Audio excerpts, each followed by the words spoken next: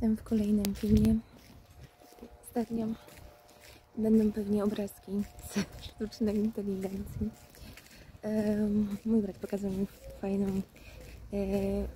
e, program, ale to też jest jako aplikacja na telefon, ale też w zasadzie lepiej chyba działa w sumie w przeglądarce, czyli tak w formie jak tradycyjnie klasycznej.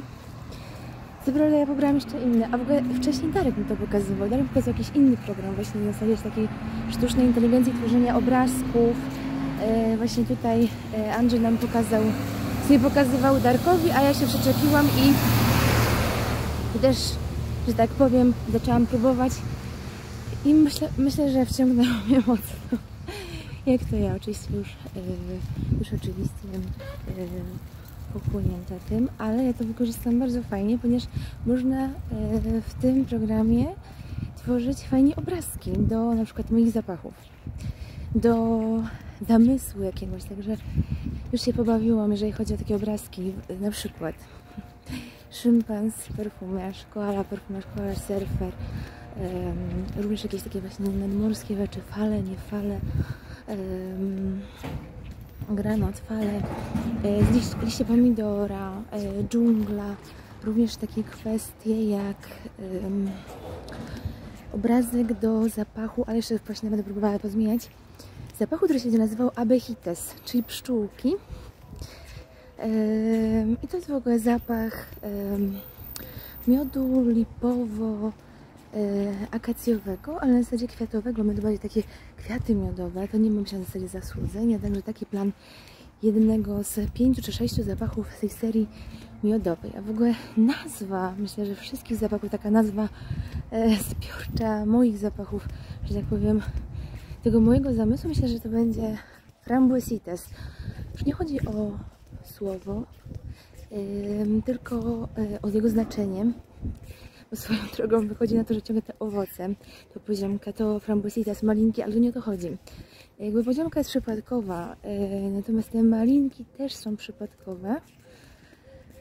To słowo fajnie brzmi i po prostu bardziej pod takim też kątem. Zresztą jest zapach jeden stworzony przeze mnie właśnie z się nazywa frambuesitas.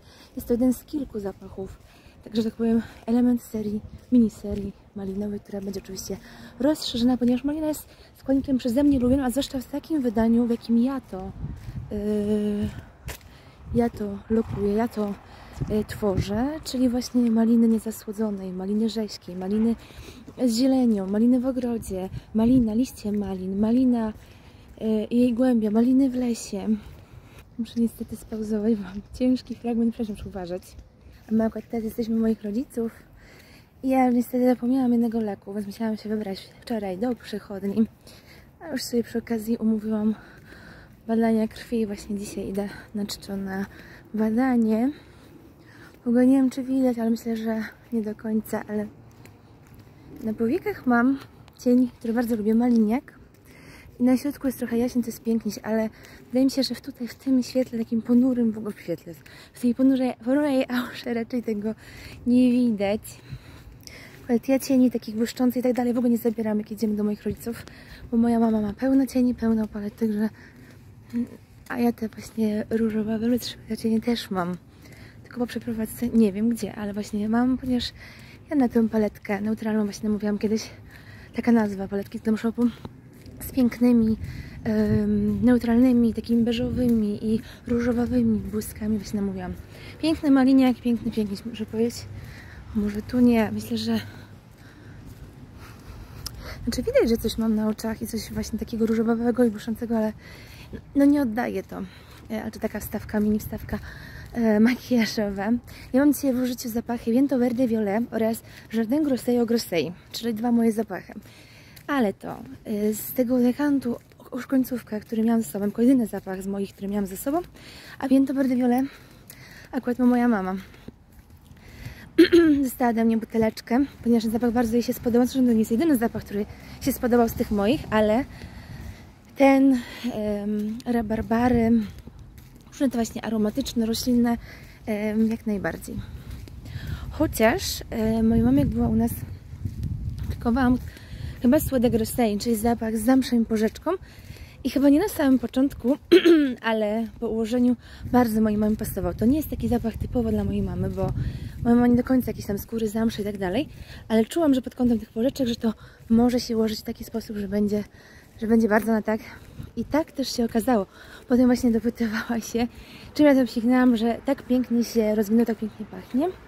W ogóle stworzyłam fajny obrazek, jeżeli chodzi o, mówiłam, dżunglę, liście pomidora, bo ja stworzyłam zapach e, wokół pięknego składnika z liściem pomidora, który się nazywa Hardinero tomatito, czyli ogrodnik pomidorek. Ym, co tam jeszcze chciałam powiedzieć? Trochę rzeczy mam ze sobą, ale to głównie takie do testów, tak żeby dopowiadałam. Między innymi już zapachy nowe, jeżeli chodzi o House of Merlo chociażby. E, również zabrałam... O, teraz mi to prośniło. Ja mam jednak zapach, nie, ja nie brałam się aż tak źle.